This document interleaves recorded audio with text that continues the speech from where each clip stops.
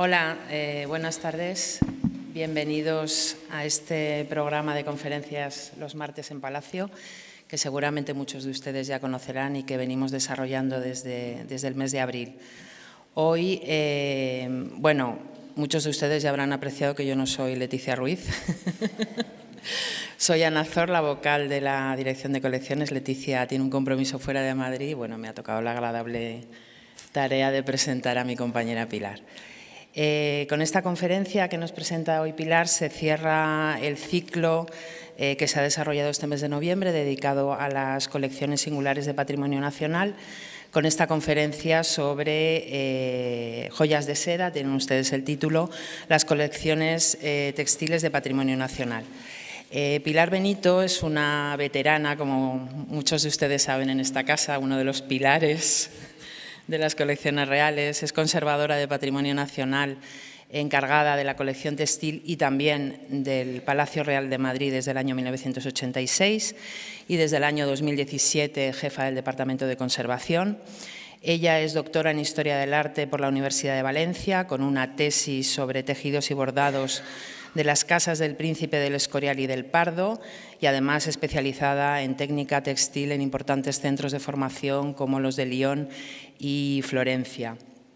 Además de numerosos artículos especializados, ha sido también comisaria de, numerosas exposiciones, entre ellas voy a destacar solamente dos, que ha co-comisariado con algunos compañeros también conservadores de, esta casa, como la de México eh, en 2014, Tesoros de los Palacios Reales de España, una historia compartida, o la que se desarrolló en 2016 aquí en Palacio Real, Carlos III, Majestad y Ornato y en los Palacios del Rey. Y sin más, les dejo en buenas manos eh, con Pilar Benito. Muchas gracias.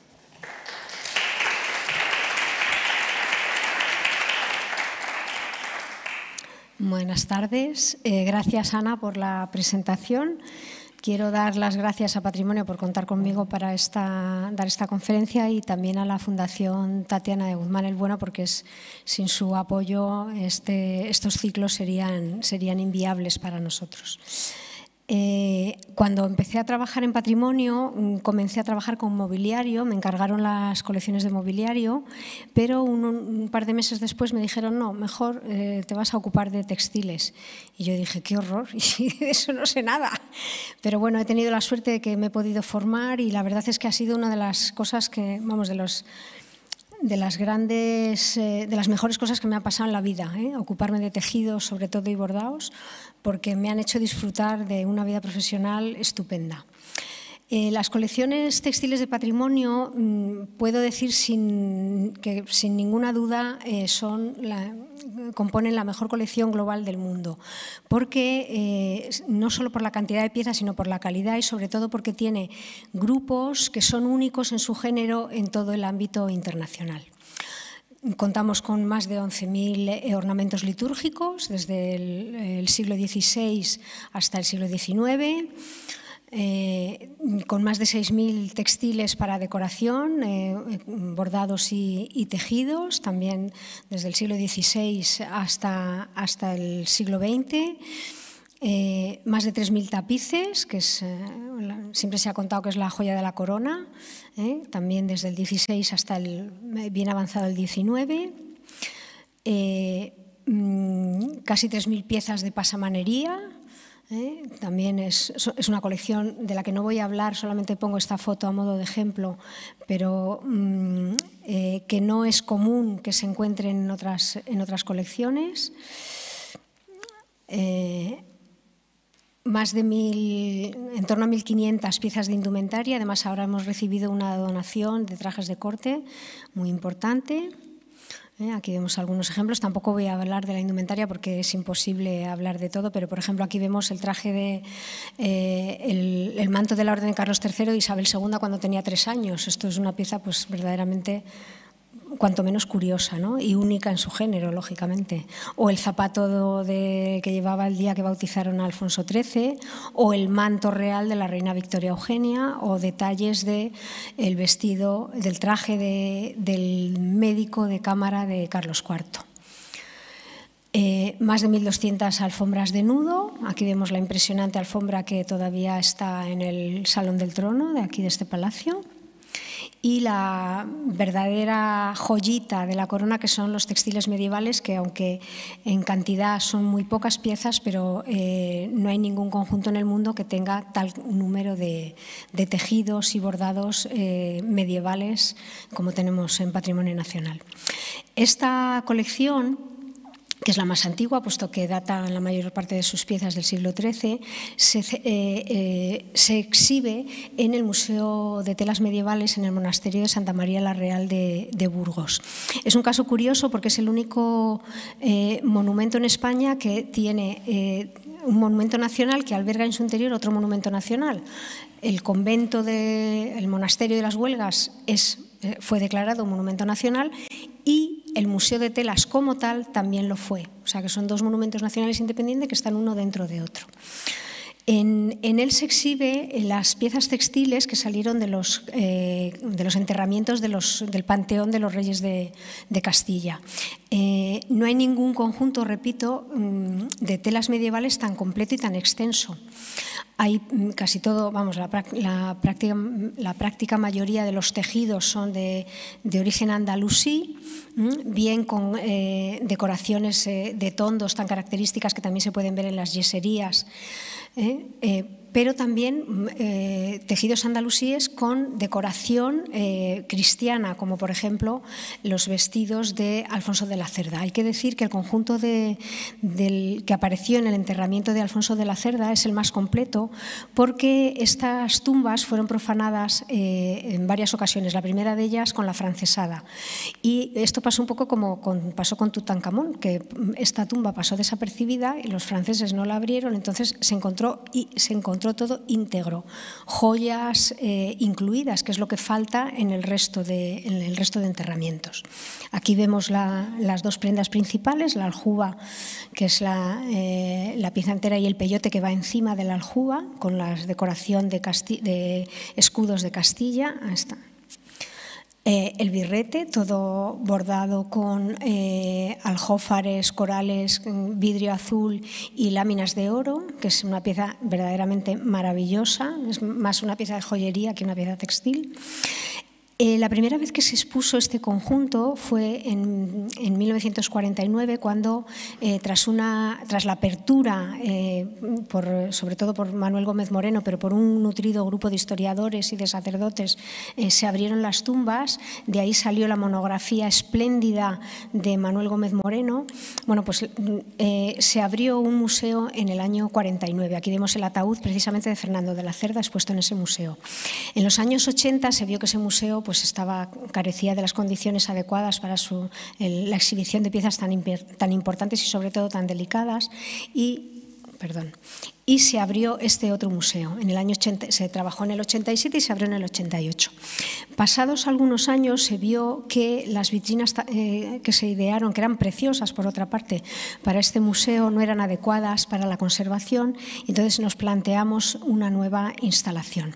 La nueva instalación es esta, aquí vemos el mismo ataúd de Fernando de la Cerda con la los, tejidos provienen de los forros de los ataúdes, de la indumentaria que vestían los, muertos y los almohadones y colchoncillos que estaban incluidos dentro de los, ataúdes. Aquí vemos otra, la vitrina donde está el birrete y, otras de las piezas del, ajuar de Fernando de la Cerda. Hay tejidos eh, con decoración epigráfica, hay tejidos más, con decoración más eh, geométrica y luego hay un grupo eh, de cuatro piezas importantísimas que son las conocidas con el nombre de Pani Tartarici. Estas piezas son eh, de origen centroasiático y dan idea del comercio que hoy parece impensable que había en la Edad Media a través del mundo musulmán de eh, obras de arte mm, que venían de los confines más lejanos. ¿no? Son piezas todas con láminas de oro, aquí vemos un detalle de una de ellas. Llevan los sellos con eh, los sellos de tinta que, eh, atestiguan el origen centroasiático Y luego hay alguna pieza como el pendón de las Navas de Tolosa, que no proviene del conjunto de los enterramientos del Panteón de los Reyes de Castilla, sino que eh, es eh, el que se ganó en, la batalla de las Navas de Tolosa por Alfonso VIII en 1212.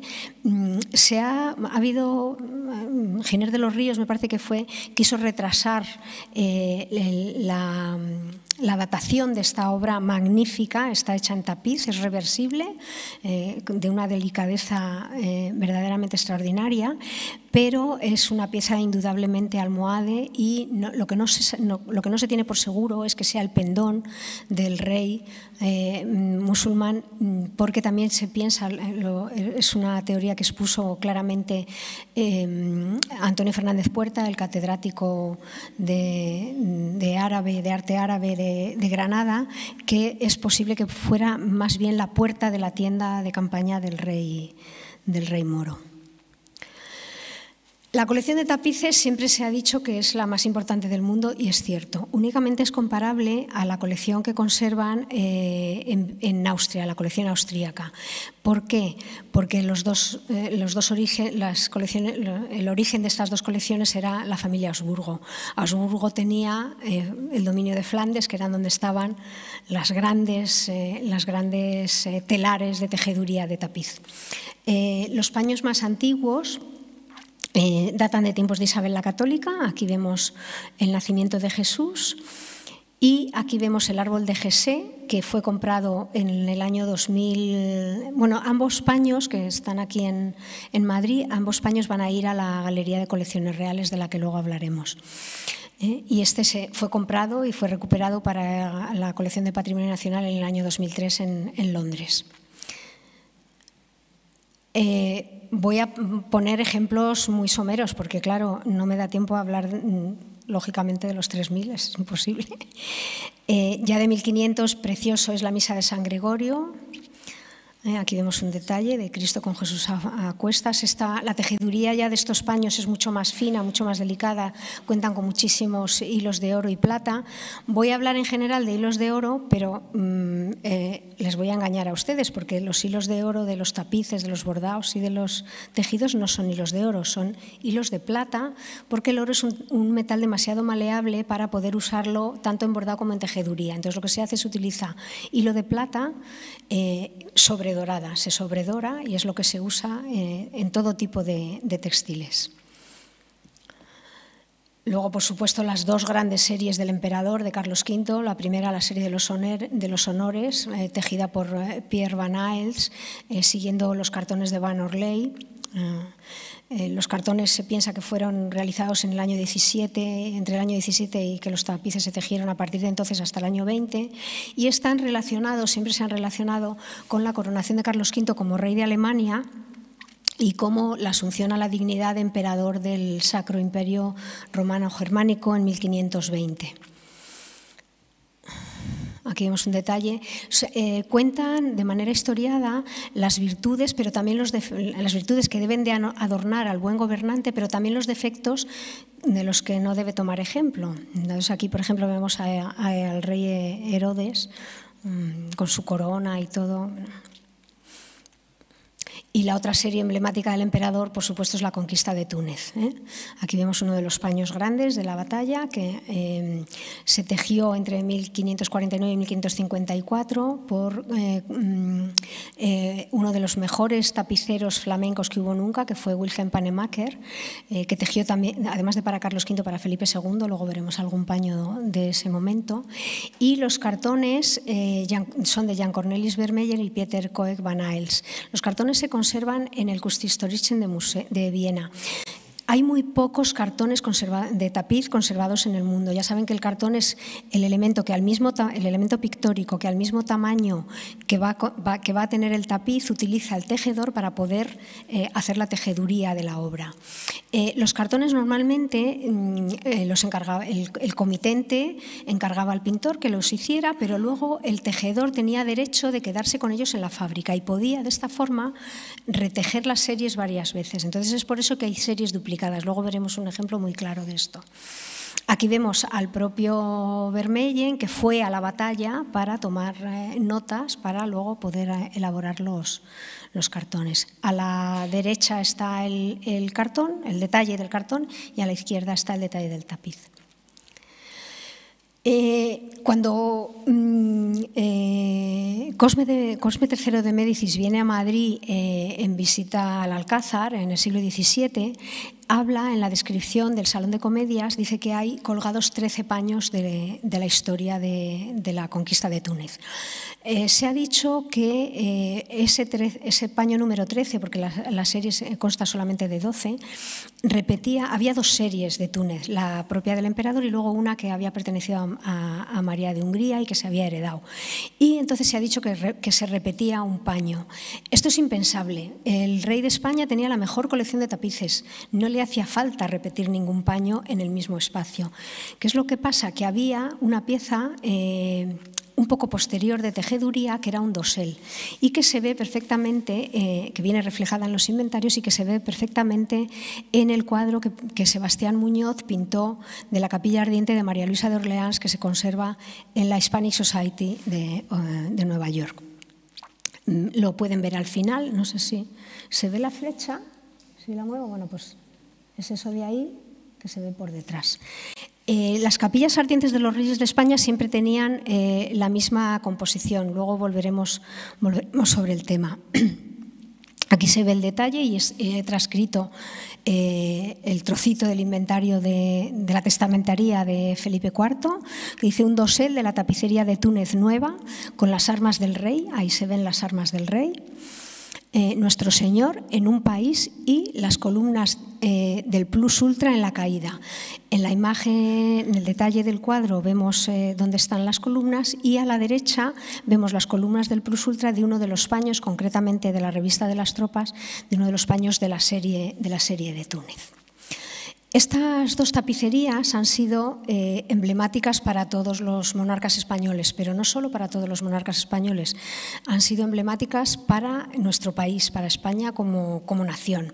De hecho, por ejemplo, el 30 de septiembre de 1938, cuando en el monasterio de San Cugat del Vallés eh, se realiza la última reunión de las Cortes de la Segunda República, el salón se adorna precisamente con paños de los honores y paños de la conquista de Túnez.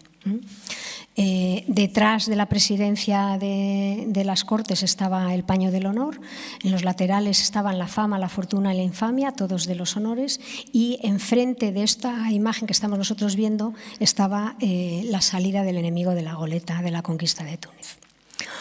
Otra de las series emblemáticas y súper conocidas es la de los Hechos de los Apóstoles, ya esta vez, en esta ocasión, de Felipe II, perteneciente a la colección de Felipe II, que se expuso recientemente en la galería de este palacio con motivo del centenario de, Rafael, porque los cartones eran de Rafael.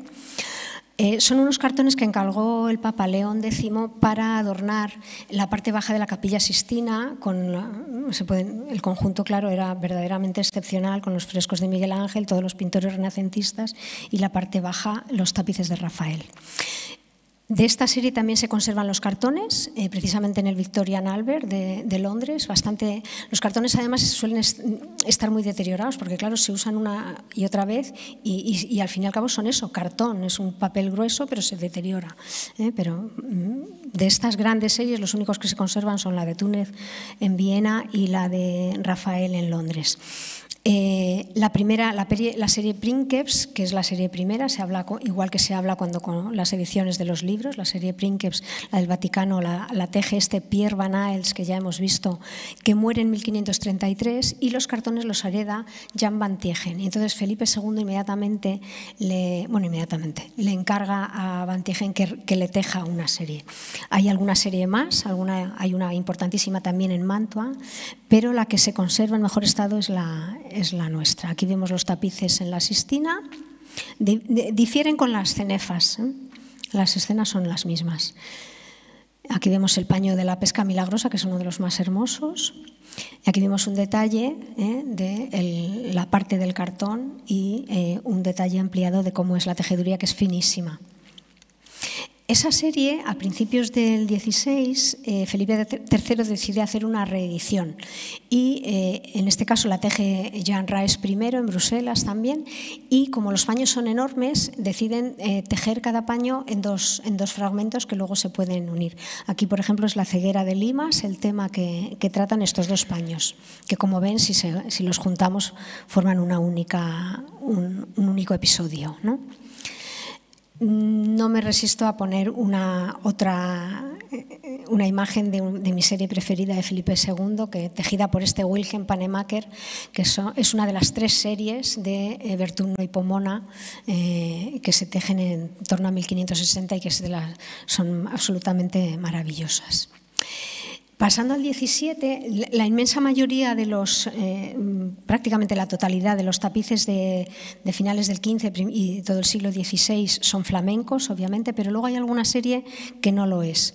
Eh, voy a poner una italiana eh, tejida en, Florencia, que es la historia de Faetón. Aquí vemos el, el paño de las Elíadas que se transforman en álamos y aquí vemos un detalle con el carro de Faetón. Eh, durante el siglo XVII también el resto de piezas son flamencas y luego ya, bueno, no, me voy a adelantar. Y luego hay que hablar de Rubens, ¿no? es impepinable. Está eh, la famosa, tenemos más hay, más hay otras series de Rubens, pero la que quiero citar obviamente es la que eh, cuenta la apoteosis de la Eucaristía y que encarga Isabel Clara Eugenia para el Monasterio de las Descalzas Reales de Madrid. Está tejida eh, también en Flandes entre el 21 y el 28 y el, uno de los el principal tejedor eh, un tejedor que se llamaba Goebbels y tiene arriba, eh, verán el, detalle, dos Bs con un escudete. Esa es la marca de Bruselas Brabante. Carlos V, no recuerdo, en los años 30, me parece que es del 16, promulga un edicto por el cual, para intentar evitar la falsificación de tapices por medio de sargas historiadas, pintadas, eh, para evitar que las calidades eh, eh, fueran peores, ordena que se firmen los paños y que se siglen con la ciudad o la región donde se tejen. En el caso de Bruselas son las Bs de Bruselas y la región de Brabante con un escudete normalmente rojo en el centro, pero por ejemplo Amberes tiene, quiero recordar, una lanzadera como, como signo, eh, eh, brujas, quiero recordar que tiene unas gafas, unas lentes, y luego los tejedores marcan con su nombre o con sus iniciales entrecruzadas, como una especie eh, de anagrama. Aquí vamos a ver un detalle. ese juego maravilloso, barroco, de un tapiz dentro de un tapiz, solo se le podía ocurrir a alguien como Rubens. ¿no? Se ve a dos ángeles que sujetan un tapiz que es donde está verdaderamente contándose la historia y eso está colgando de una arquitectura eh, también muy, muy, muy del estilo de las, eh, de, los, de las que hacía Rubens. En el 18, claro, Felipe V cuando llega a Madrid tiene la guerra de sucesión y de pronto se da cuenta que tiene la mejor colección de tapices del mundo, pero que con el Tratado de Utrecht ha perdido los dominios sobre las fábricas flamencas y ahora dice, pero yo, ¿qué hago? O sea, algo tengo que hacer. Entonces, claro, decide, bueno, pues yo iba a decir con un par, eh, voy a fundar una fábrica en Madrid, porque es la única manera de conseguir eh, seguir incrementando esta colección. Esto es muy problemático. Bueno, claro, es el espíritu de Colbert. Ha, fundado también, funda también la Real Fábrica de Cristal de la Granja. Luego Carlos III seguirá el ejemplo de su padre con la fábrica, por ejemplo, de porcelana, bronces eh, del Buen Retiro. Eh, pero claro, mm, ¿a quién acude? A un tejedor flamenco a, Van der Goten y a Van der Goten es una fuga de cerebros y en Flandes no le quieren dejar salir, le meten en la cárcel, le quitan los telares, bueno, una historia de estas de película, pero ya logra venir a, Madrid y montar la fábrica en los altos de, Santa Bárbara. Una de las series preciosas que tejen, bueno, la fábrica luego, eh, cuando la corte se traslada a Sevilla, en, esa, en ese afán de Isabel de Farnesio de intentar eh, liberar a su esposo de la llamada melancolía, el, era un decenio, me parece, el decenio andaluz, la fábrica se la llevan a Sevilla, porque es su fábrica y se la llevan a Sevilla. Y en Sevilla tejen eh, la historia de Don Quijote. Hay dos series, con un total de 43 paños entre las dos. Unos llevan, eh, la diferencia es eh, las cenefas, que en una son las columnas salomónicas, como en este caso, y Aquí vemos la aventura de los molinos al fondo y el desafío del vizcaíno delante y la otra que son de trofeos y, flores. ¿eh? Aquí vemos una escena famosísima que es eh, el manteo de Sancho, de Sancho Panza. Ven un rectángulo debajo. Esto es porque este paño está en el, em, cuartel general del ejército. Eh, Patrimonio Nacional tiene depositados fuera de nuestra institución sobre todo tapices, principalmente tapices. ¿Y dónde están estos paños? Pues están en sitios de alta representación.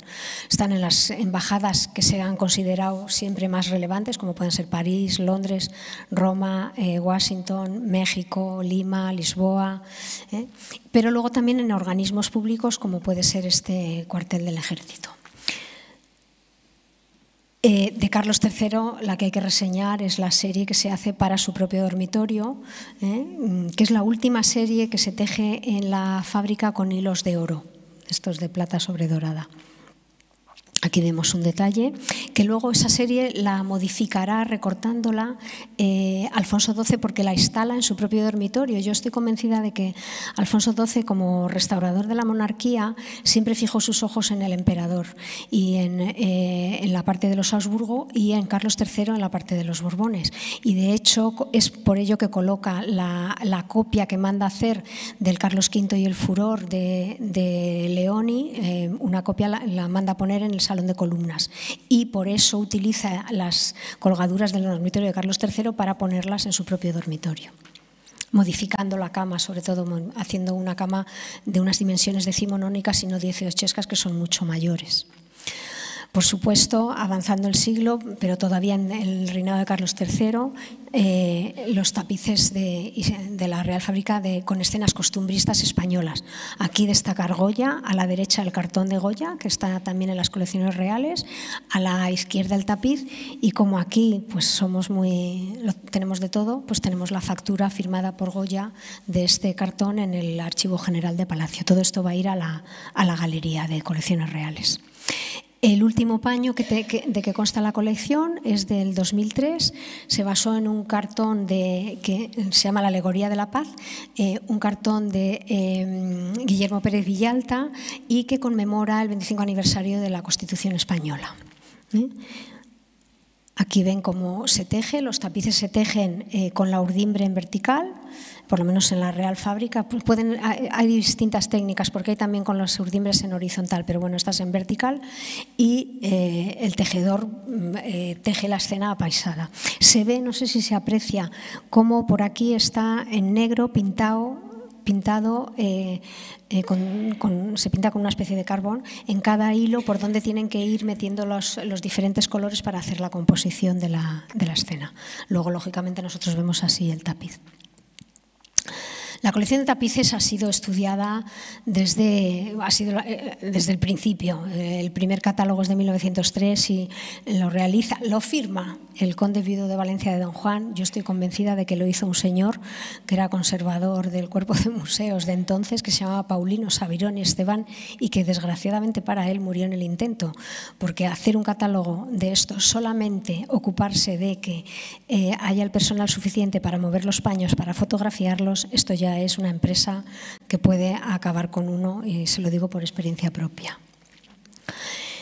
Hemos hablado que otro conjunto enorme, eh, el más grande de todos, es el de ornamentos litúrgicos. Eh, he transcrito aquí una frase del padre Sigüenza eh, y digo así, hablando de los ornamentos del Escorial, y digo así a bulto esto por no cansar al lector y de, los y de lo dicho podrá conocer la excelencia y el primor que hay en todo. Eh, mm, En el Escorial hay más de 3.000 ornamentos. En este momento se conservan más de 3.000 ornamentos, desde 1564 hasta el siglo XIX. ¿Por qué sabemos que hay desde 1564 una fecha tan exacta? Porque Felipe II, en esa época, bueno, eh, es, el momento en que se funda eh, el obrador de bordados por parte de, Felipe II en el Escorial. En el 67 profesa eh, un monje, Fray Lorenzo de Montserrat, precisamente profesa en el Escorial Felipe II ha conocido a esta persona en el monasterio de Montserrat, donde había ya un taller de bordados. Mm, eh, la elección de, los monjes de la orden jerónima para el Escorial no es casual. Es una orden estrechísimamente ligada a la corona de Habsburgo. De hecho, Carlos V, eh, cuando se retira Yuste, son los jerónimos los que están en el monasterio y los jerónimos hacían bordados. Entonces, Felipe II, que quiere dotar al monasterio de la, de, de la más rica eh, colección de ornamentos litúrgicos, eh, se fija en esta persona y le dice que por qué no se viene a Madrid para fundar eh, este obrador. el inicio de la actividad se, realiza en este edificio, que era el, monasterio de Prestado, antes de que esté terminado de construir el monasterio que conocemos actualmente. Esto estaba en el pueblo del Escorial, no en San Lorenzo. Y bueno, hay cosas tan maravillosas como esta, que es muy poco conocida, que es de los primeros ternos que se, que se bordan, que se ya, eh, lo conocemos eh, como el terno de los querubines, es un terciopelo todo con lámina de plata de fondo, eh, todo anillado y todo terciopelo cortado y anillado y luego toda la parte central bordada en la técnica que luego veremos que se llama de cortaduras, que es típica, típica del escorial famosísimo y que es de la década de los 70, eh, el terno de San Lorenzo, que se utiliza única y exclusivamente en la festividad de San Lorenzo como patrón del monasterio.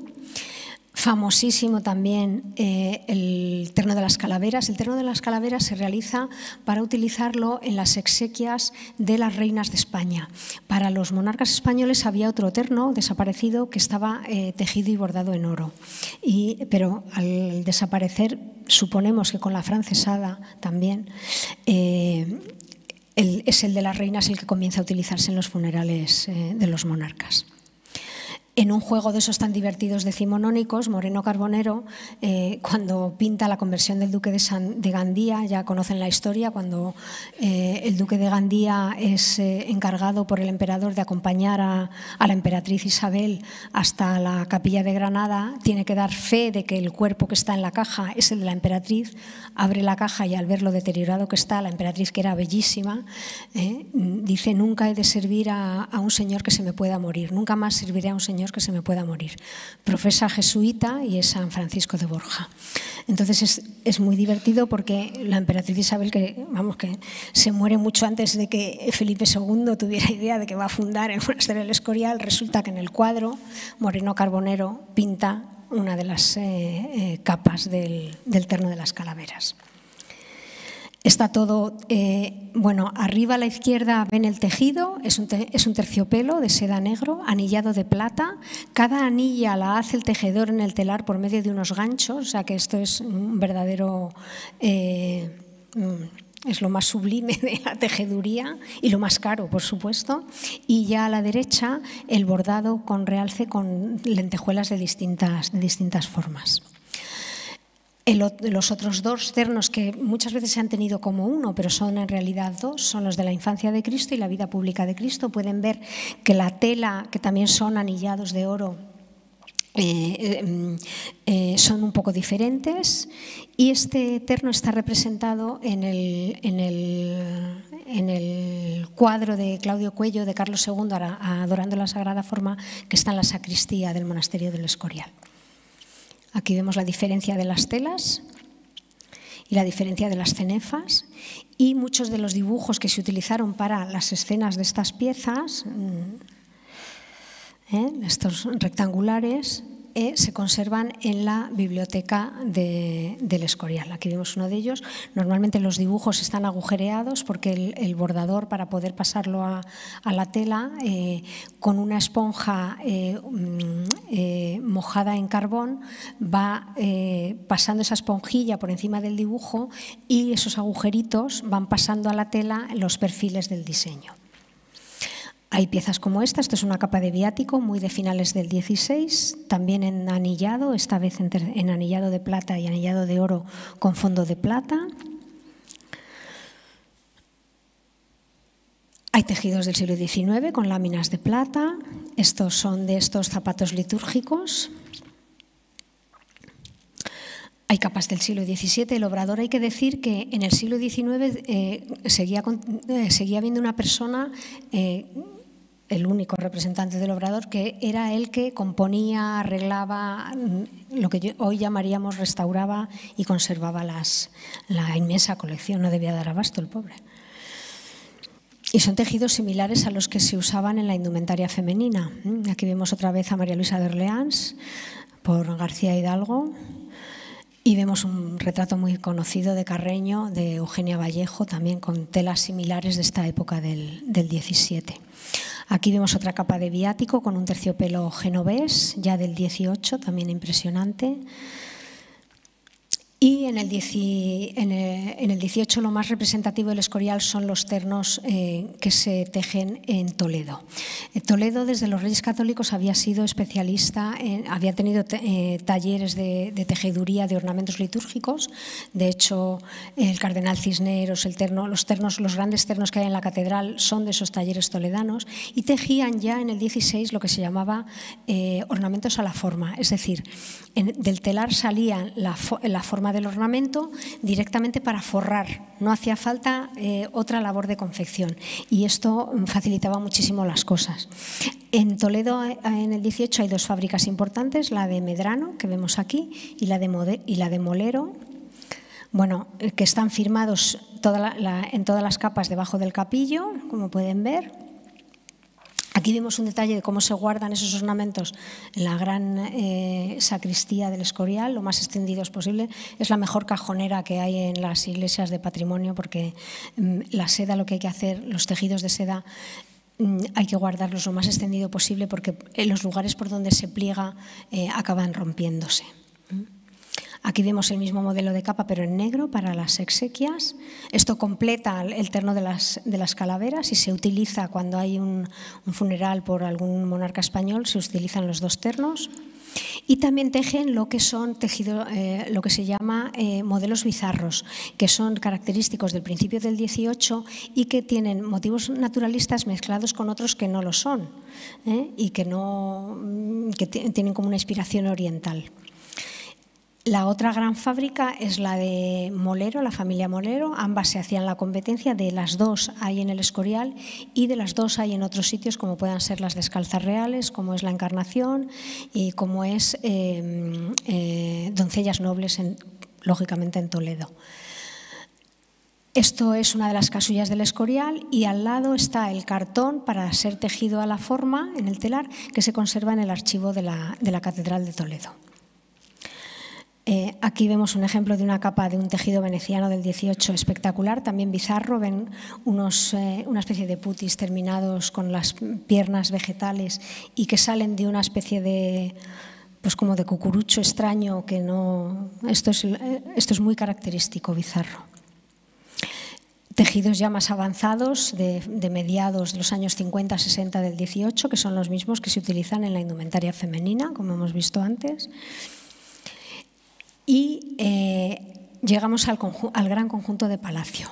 Mm, cuando eh, se empieza la construcción por Felipe V, no, después Fernando VI. Bueno, Fernando VI, hay que decir que tanto Fernando VI como Carlos III aprendieron a bordar. Y el profesor de bordado era, era un personaje, el mejor bordador de cámara de la primera mitad del 18, que se llamaba Antonio Gómez de los Ríos. Entonces, Antonio Gómez de los Ríos, que conocía eh, la riqueza de los ornamentos del Escorial, decidió por su cuenta y riesgo bordar varias piezas, enseñárselas al rey de entonces, que era Fernando VI, y eh, el rey se quedó maravillado con lo que le había mostrado el bordador y le, le pagó lo que ya había hecho y le encargó que hiciera todo un pontifical para dotar a la capilla. Eh, Gómez de los Ríos da por terminado el pontifical en 1756, pero llega Carlos III y Carlos III le dice que no, que lo complete con esta pieza, que es un magnífico dosel que todavía se puede ver hoy en la capilla.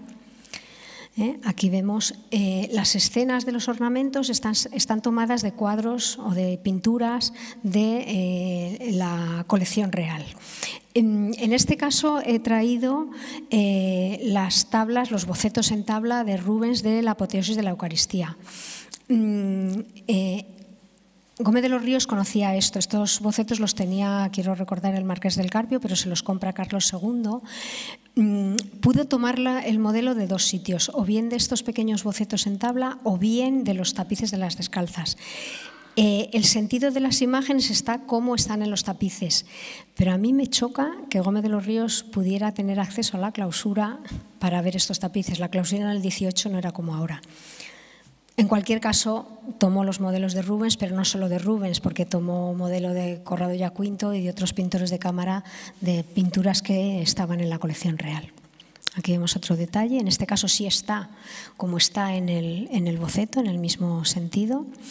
Hay que decir que eh, para un bordador, el bordar en oro, que es mucho más vistoso, mucho más lujoso, da mm, idea de mucha mayor riqueza, es relativamente más sencillo, bastante más sencillo que bordar en color y bordar a la aguja con hilos de sedas de colores. Esto es un detalle del pontifical eh, y esto se llama pintura a la aguja porque cada puntada es como si fuera una pequeña pincelada que da el pintor con la en este caso lo hace con la seda y donde, igual que, eh, los, pintores demuestran su verdadera maestría pintando al fresco, por la dificultad de la técnica, el bordador eh, muestra su, valía bordando al matiz con sedas de colores.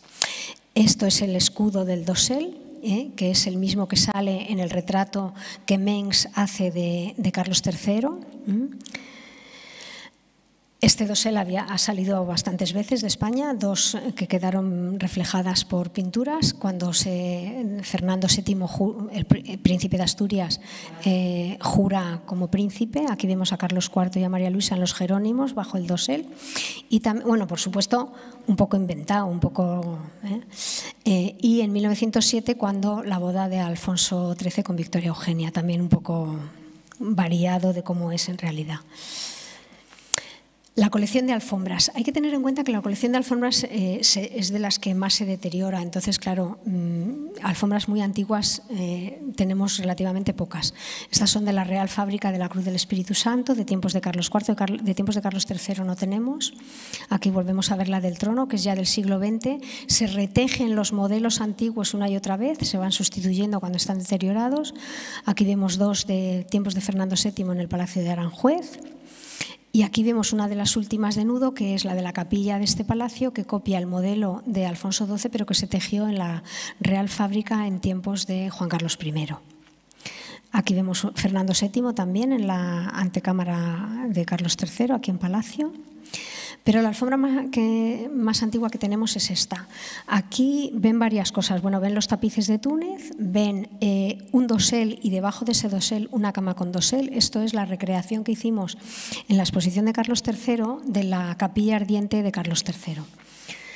Eh, ven que es la misma idea que, hemos visto en el cuadro de eh, Sebastián Muñoz. La alfombra viene reseñada en los inventarios desde antiguo. Vemos eh, eh, una foto en blanco y negro que es de finales del siglo XIX, de ahí, mm, que, deja constancia de la importancia y la valía en que se tenía. Aquí vimos un detalle, está bordada en bordado de cortaduras, que es recortar telas de colores y se asientan por medio del bordado sobre una, sobre una base también, de, en este caso, de terciopelo carmesí. Eh, hay que decir que era tan valiosa que en el inventario, en la testamentaría hecha a la muerte de Carlos II, está valorada en 1.500 doblones y, por ejemplo, una obra del calibre de Carlos V en Mulver, pintado por Tiziano, lo está solamente en 1.000 doblones de oro. Entonces hay que tener en cuenta que esto es una cifra, o sea, el que una alfombra esté valorada en 1.500 doblones es una cifra verdaderamente colosal. Afortunadamente se conserva. Bueno, eh, la capilla ardiente se puso en el Salón del Trono, se quitaron consolas, se quitaron eh, marcos de espejos, se quitó el dosel, eh, se quitó el estradillo con los leones de Bonicelli, se quitó toda la decoración escultórica y donde está el dosel se colocó esta, eh, este dosel amarillo con la cama con dosel debajo y por allí pasó todo aquel que quiso, ver el, que quiso rendir homenaje al monarca, puesto que las capillas ardientes de los reyes de España eran públicas y podía entrar todo aquel que quisiera siempre que guardar a la cola.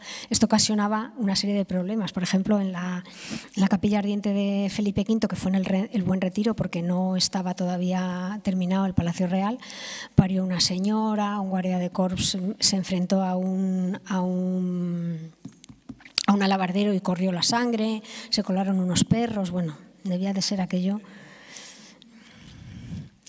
bueno, esto nos permite empezar a hablar de eh, las colgaduras del siglo, colgaduras para pared y adornos para eh, decoración. Las, las, piezas más antiguas que tenemos son del reinado de Isabel la Católica y de Fernando el Católico. La de abajo está en el Monasterio de las Huelgas y la de arriba fue comprada, yo creo que fue 2008 o así, en una subasta en Londres.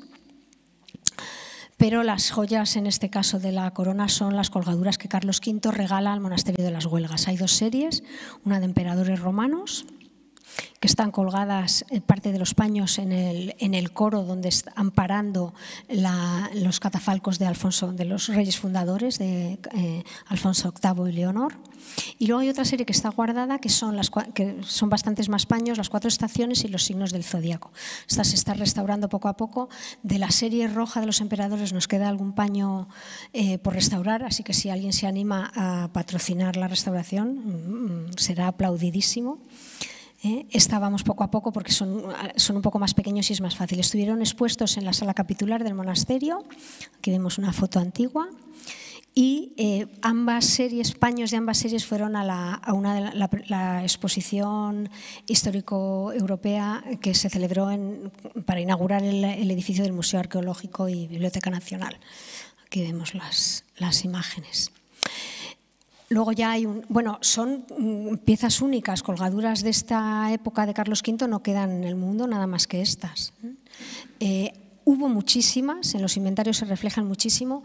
En, la, en, el, anuncio de la, conferencia eh, se dice que eh, Felipe II es una de las que, eh, mm, pide que no, o sea, eh, en su testamento deja escrito que no se pueden enajenar, ni, ni dispersar, ni vender, eh, y siempre se ha hablado de los tapices, ¿no? En, allí lo que dice es el oficio de tapicería, no solo los tapices, o sea, los, las colgaduras bordadas, las alfombras, todas las piezas estas de, de, seda no se podían vender.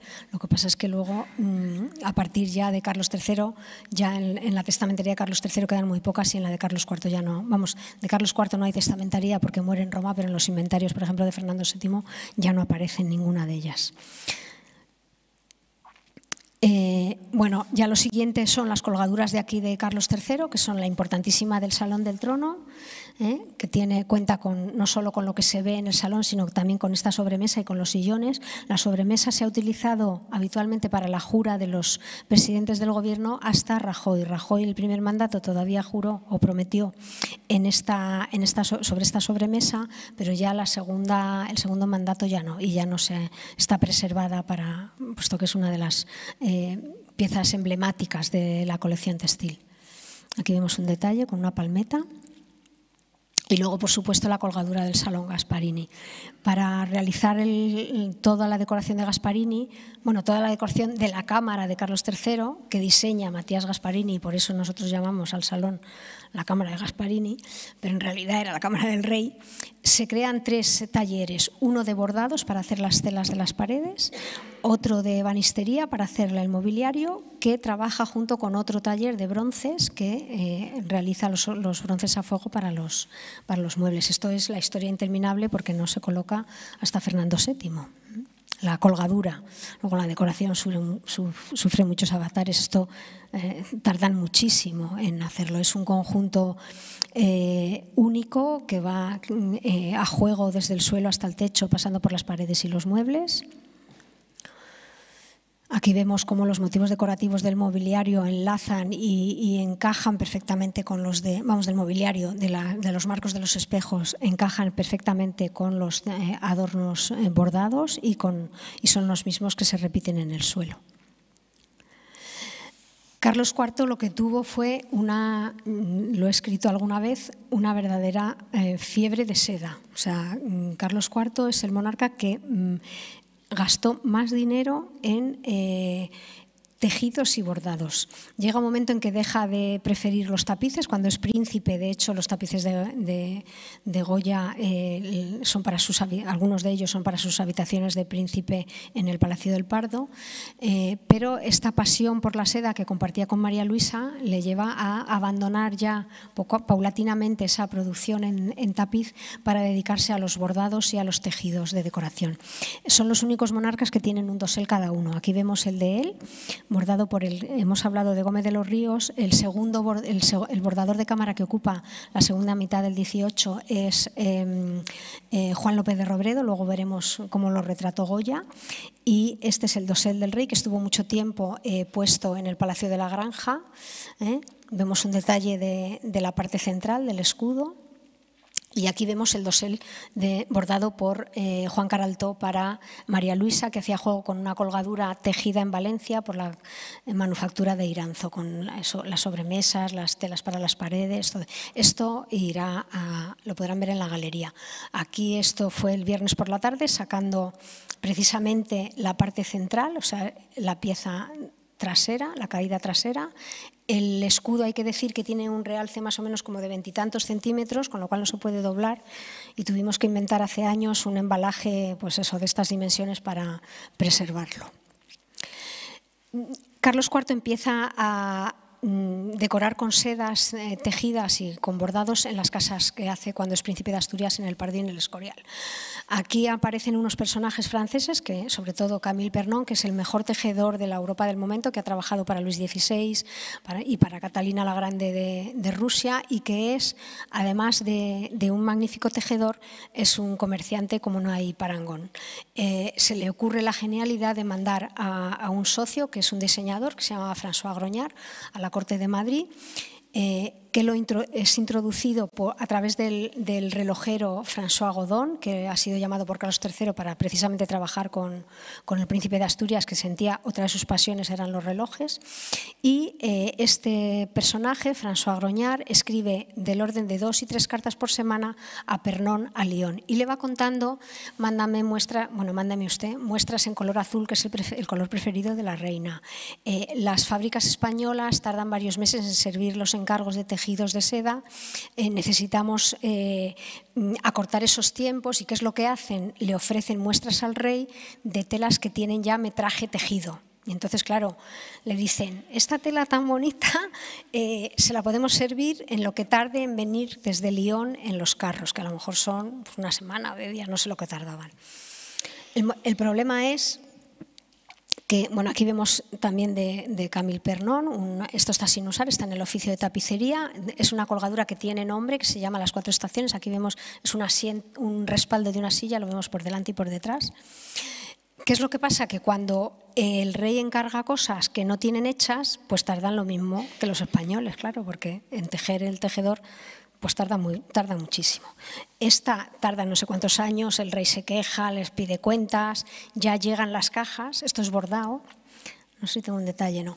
Y ve el rey cuando que, hay las sombras de los motivos decorativos pompeyanos están pintadas. Entonces él pone el grito en el cielo, pero ustedes me han timado, me han estafado. Y entonces Gruñar le dice, no, majestad, es que esto no se puede hacer bordado, porque si hubiéramos hecho bordado habríamos tardado cinco años más. Y entonces ya el rey parece que con esa... Porque claro, el rey, a ver, yo he llegado a la conclusión, después de estudiar bastante a Carlos IV en este aspecto, que a él lo que le gustaba era la parafernalia de la decoración. Y entonces quería verlo todo inmediatamente. De hecho, alguna vez en el Escorial, esto es el Escorial, es la casa del príncipe, cuando llega una de las, de las sedas, abren las cajas y, le, y hace a los tapiceros tenderlas en las paredes y a los adornistas hacer unos dibujos de los zócalos como falseando para ver cómo va a quedar. O sea, él disfrutaba con esto. Tenía, hay que decirlo, un gusto exquisito las colecciones, junto con las de Felipe II, son las más extensas de, las colecciones reales y, eh, hay que salvar a, este monarca por esto. Y, olvidar un poco la leyenda negra que nos hace eh, que nos llega a través de Fernando VII, que es mm, cruelísima y no, hay muchas cosas que no, que no son ciertas. Y ya la guinda del pastel la pone en la Casa del Labrador, aquí, que actualmente saben ustedes que está en restauración y una de las cosas que hemos tenido más cuidado en preservar han sido precisamente las sederías. Eh, esto es, eh, bueno, claro, llega un momento en que los, mm, eh, el, terror avanza en la Revolución Francesa y, claro, van muchísimo contra los tejedores de este tipo de, textiles, que son de súper lujo y que son carísimos. Eh, esto todavía, la cosa no ha llegado la sangre al río y se sirve desde Lyon en 1804 esto se sirve en 1807, pero mm, eh, está ya la cosa fatal. ¿Qué es lo que hace Pernón en una de esas eh, genialidades comerciales? Manda, bueno, esto es el, Salón de Billar del Labrador, esto lo monta mm, eh, el bordador de cámara del que hemos hablado, Juan López de Robredo, que aquí lo vemos retratado por Goya, con el uniforme de bordador de cámara, que él es quien consigue, después de pedirle al rey que quiere que el bordador de cámara tenga un uniforme igual que tenían los pintores. Y además de hacer los bordados de los, de, los, eh, de los octógonos, estos pequeñitos, y unos paisajes que aquí, bueno, como este, que esto es la albufera de Valencia, por ejemplo. Eh, ¿Qué es lo que ocurre? Que llega en este momento ya el terror, ya no pueden tejer eh, libremente en Lyon y entonces Pernon manda a otro personaje, a Jean-Michel, ¿cómo se llamaba? Eh, Jean-Antoine Michel, a fundar una fábrica en Valencia. En Lyon siempre se ha dicho que Pernon fundó una fábrica en Valencia y nunca había habido testimonio, pero con eh, la documentación que hay en el archivo de Palacio se ve claramente que esto era cierto. Están tejiendo justo cuando es la guerra de la independencia esta colgadura que no se llega a colocar, ¿eh? se llama la colgadura de columnas y guirnaldas de flores, porque todas estas colgaduras tienen nombre. La del billar se llama Verdure di Vaticán porque está inspirada en las logias de Rafael se teje todo por separado y luego hay que componerlo. Esto es una composición ficticia es todo tejido de oro y eh, este personaje, Jean-Antoine Michel, en 1808, cuando estalla eh, la guerra de la independencia, la invasión napoleónica, en Valencia hay muchísimos comerciantes franceses y eh, les expulsan a todos y Michel lo que hace es españoliza. entonces, a partir de entonces es Juan Antonio Miquel, a la valenciana, con Q, y lo que hace es, se presenta ante las cortes que están en Sevilla y se ofrece como francés españolizado a eh, salvar a Fernando VII en Balance.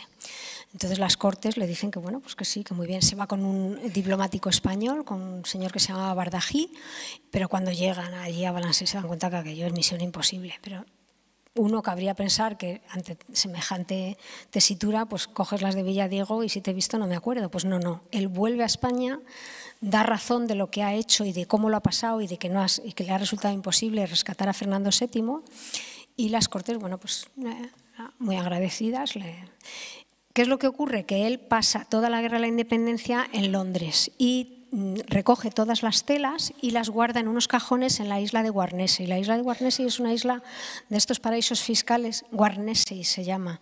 Ahí estuvo desterrado, por ejemplo, Víctor Hugo. Es, hoy en día es un paraíso fiscal de estos que hay en, la, en el Canal de la Mancha.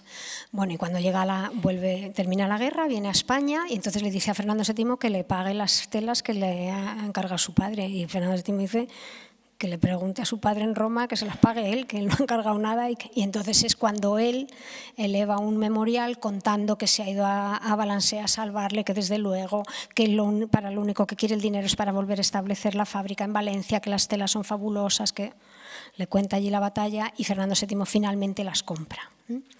Y bueno, este es el, que introduce el mecanismo Yacar en España en una edad tempranísima, que como es 1800, no sé si es 1810 o una cosa así, o sea, después de Francia es España y es a través de la fábrica de Camille Pernón, eso está clarísimo. Bueno, y yo creo que con esto pasamos a la actualidad. El siglo XX eh, nos hemos centrado en la restauración, Principalmente, lo primero que se acometió en los años 80 fue la, magnífica colección de las, eh, huelgas de Burgos, de los tejidos medievales. Aquí vemos el montaje del 2008 con eh, la persona que hizo eh, el diseño de toda esa nueva instalación, Lourdes de Luis, y con una de las restauradoras de textiles, Purificación Cereijo, y una de las religiosas del convento. Aquí vemos también a la misma purificación Ceirijo en una de las restauraciones. Aquí vemos más restauraciones.